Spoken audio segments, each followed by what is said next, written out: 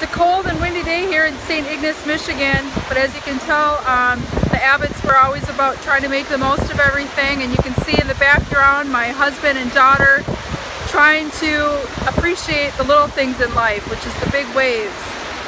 So I hope today you're able to go out there and find the good in your day.